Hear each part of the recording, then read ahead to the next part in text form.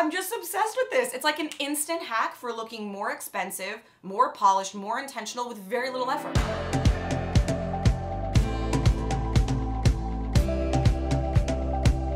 I'm so happy you're here today. This is gonna be such a useful video for building out outfits really all year long, but especially as we move into the fall months. If this is your first video, welcome. I'm so happy that you found me. My name is Orly, and this is the DIY Designer. I release a brand new video every single week. Those videos are usually either DIY fashion, developing your own personal style, or styling hacks types of videos. Now, today's video is perfect, fits right in line with that. Today is all about elevating your basic outfits with tonal dressing. Now, tonal dressing is essentially picking one one color and sort of playing within the highlights and the shadows of that one color. I don't know what it is, but there is something about tonal dressing that just always creates a look that looks more expensive. It looks more intentional. It looks more polished. And the wonderful thing about it is that no matter your style language, you can do this because you're just gonna be playing within the tones and the colors that you love, that you gravitate towards. So it's totally one of a kind to you. Let's talk about the clothing to start. I'd say about 50% of this rack is pieces that I already owned. I opened up my closet and I just started pulling out out things that felt like they were within the same color family. The other half are brand new, beautiful pieces from Lily Silk. Now, if you guys follow me, you know I love Lily Silk. This is probably my fourth video with them. They're sponsoring today's video and I'm so appreciative. Lily Silk is not concerned with being like fast fashion, trend focus of the moment. They know that if you are gonna spend your money on a genuine 100% silk piece, that it's an investment and that you want that investment to last forever. Number one is the quality of the silk is like the absolute best. Best quality silk's gonna last you forever. But number two is that they're creating silhouettes and pieces that are timeless, that are elegant, that will always be in style, so that they will be able to be hanging in your closet and evolve with you as your style evolves because the pieces are like the most beautiful blank canvas you could ever ask for. So I am going to be building out outfits, mixing together thrifted pieces, old pieces, lily silk pieces, and down below I will link anything that I can. All of the lily silk pieces definitely will be linked, plus a coupon code if you guys wanna try it out, because it is so beautiful and I really recommend it. Okay, number one tip, open up your closet and shop your own closet. That's the first thing you wanna do. I guarantee you that there are certain colors and certain color families that you gravitate towards without realizing it. You think the color looks good on you, it makes you feel really great, and so you probably have quite a few pieces within the same color family. Take a look, scan what you got, and as you start to see consistency, pull all of those pieces out that are within a similar color family and lay them all on your your bed. Tip number two, in order for this to work, you need a minimum of two colors, ideally three. In this outfit, you can see I just have two colors. I've got the white blouse and kind of the bone pants. But as you see, I add in more colors. The overall look starts to become much more intentional. The scarf is kind of a middle tone between the top and the pants, and the handbag is kind of a middle tone between the scarf and the shirt. The more variations of the same color that you have, the more intentional the outfit feels. So you can start layering on basics and end up creating an outfit that looks super intentional by just adding in more colors of the same tone.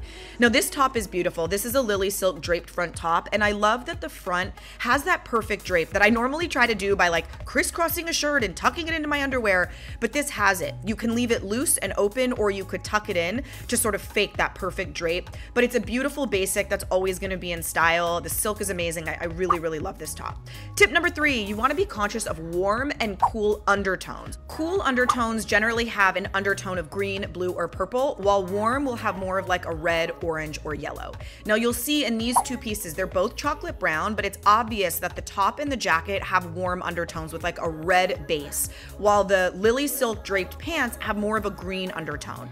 So this works, but if you want to really pull it off super successfully, I would suggest trying to stay with cool tones. So this chocolate brown top has a cool undertone. It's darker, which gives me my tonal effect. I'm playing within the highlights and the lowlights of the pants, but they are both a cool undertone, which is making it work a little more successfully. These pants are beautiful. These are a lily silk draped front pant, and they're gonna work amazing for fall because the colors are gonna blend so great. Even this look that I did here, this is a lily silk cardigan. You're gonna see it a bunch in this video, and a little bustier, like an old bustier that I've had forever. I'm playing within the shades of brown. So I've got like camel and nude and chocolate. The colors look so beautiful together. And another tip, number four, prints can work as long as the colors within that print are tonal. A good way to think of it is almost like watercolor. You want the colors to be really soft and blended, no harsh black or white or anything that's gonna look too graphic. You can see within this print, all of the colors in my outfit are pulling from inside of the print. So while this isn't technically tonal, we think of more solids, this really works and ultimately it created an outfit I never would have thought to put together. So even if you're doing this just to open up your mind and have more creativity, I love this outfit for fall so much and I don't think I ever would have thought to do it if I wasn't sort of doing this tonal exercise. Next up is this, it's it's almost like a set but not. They're separates, but they can be worn together beautifully. It's this sort of draped front. The top is made out of a silk chiffon and the skirt is like a true silk. One of the things that makes silk such a great option when you're doing tonal dressing is that built into the silk, there are highlights, midtones, and lowlights. If you look at the skirt, the way that it naturally is, it's almost like velvet, right? It has all of these different tones built in. So I'm getting three tones in the skirt that I can then play up on depending on which direction I wanna go. If I wanna work within the darker tones, I can pair darker accessories and jackets. If I wanna work with the lighter tones, I can pair that. So there's so much versatility when you're doing silk because of the sort of built in nature of the fabric. The details are gonna change the outfit to your personal style. I swapped a pair of sneakers and I instantly felt more like me. This jacket with this outfit and sneakers was instantly me. Same, I swapped out the blouse for a sweatshirt and like it started to completely change the look. I'm still tonal. I'm still working within these really beautiful mid highlights and lowlights of the same color, but just keep in mind that it can constantly evolve for your style. So you're looking for colors that you love, but make sure that you style them in a way that's very you. One of my favorite pieces in the entire bundle I got from Lily Silk this time is this cardigan. It's they've got like these amazing cashmere and wool cardigans and it's like a grandpa cardigan. The fact that it's a little oversized, I like that I can create kind of a deep V. It's soft enough that I can tuck it under my bra, I can wear it open, like draped off a shoulder.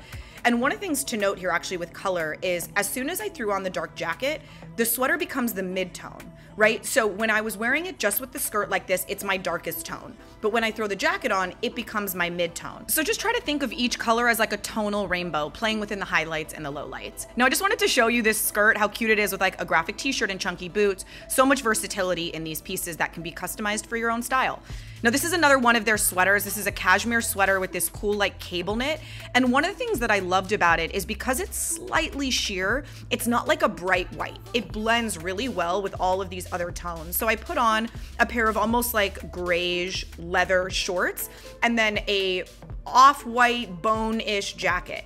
So I've got bright white in my bag, a slightly softer white in my sweater, a slightly softer white in my jacket, a darker white in my shorts, and all together this is really fresh and fun, but it's just about layering those colors. I guarantee you have tons of white and neutrals because they're basics in our wardrobe. So that's kind of where tip number one really comes into play. Shopping your own closet and recognizing the colors that you've already gravitated towards is gonna help you if you do decide you wanna buy some new pieces. You're gonna know which colors are gonna naturally fit within that tone tonal vibe that you've already got. So you're gonna end up with a lot more versatility.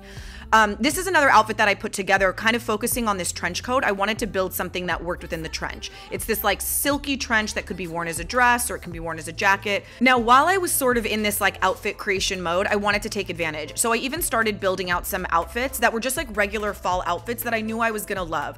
I always snap a photo in the mirror like a selfie and throw them in an outfits folder. So on a day when I'm not feeling particularly inspired or particularly cute, I can look at my outfits folder, I can see an outfit that I created that I knew that I loved, and I can just recreate it with very little effort. Here's another one that I did using all of the top elements that I did previously, but with a pair of like slouchy wide leg cargos all of these little elements are gonna totally transform based off your personal style. So you can see I am tonal here in all of them, but the vibe of them is completely different. Now, one of the most important tips any color works. I know that we've done a lot of neutrals here, but bold colors work. The same exact thing applies. You want a highlight, a mid-tone, and a darker tone. That's it. Tip number four, if you are gonna do a contrast color, try to make it black or white. If you do a different color, it's gonna look more like color blocking than tonal. So by just sticking with black and white as your contrast, it allows this to continue to focus on the colors of the outfit, the tonal colors that you built. Whereas if I did like purple or orange, it would feel a little more color blocked. And you can see the way the three tones build is perfect.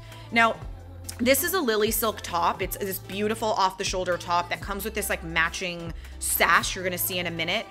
This is a little bit of a different tone. You can see that the first pink outfit had a cooler undertone, almost like a blue uh, undertone to it, while this top has a little bit more of a red undertone.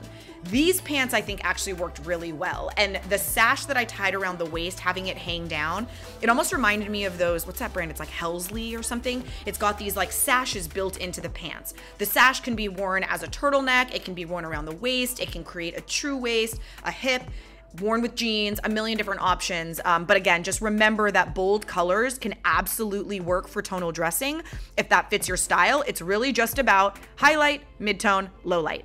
Now, this is a bonus. I picked these black pants. They're not tonal at all, but I had to have them. They look at this.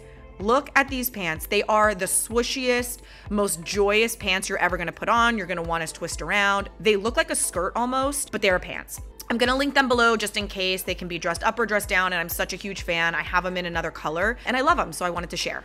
All right, you guys, I hope this video was helpful. As you can see, there are so many tones that you can play with. Whatever those colors are that work for you, that you love, that you feel like flatter your skin tone, that sort of work with your personality and your general style language, those are the colors that you can do. So really shop your own closet. This is a great tip if you are doing a little shopping run and you wanna buy some new things. Buying things that are gonna be within the same color family as a lot of items you already own is gonna give you even more flexibility as you are getting dressed and creating outfits. And I hope that you guys loved the Lily Silk pieces. I mean, they're just buttery soft, incredible quality, always in style, heirloom pieces that you can keep and hand down. Links are below if you guys want to check it out, um, plus a coupon code so you can get a little discount. Next week's video is amazing. It is like pearlescent metallic cargos. Oh my God, they are amazing. I'm obsessed. I've been forcing myself not to wear them until I film the like finished modeling part and it's killing me because I love them so much. Uh, so I hope you guys will stay tuned for that. Have a beautiful week. I will see you next week. Bye.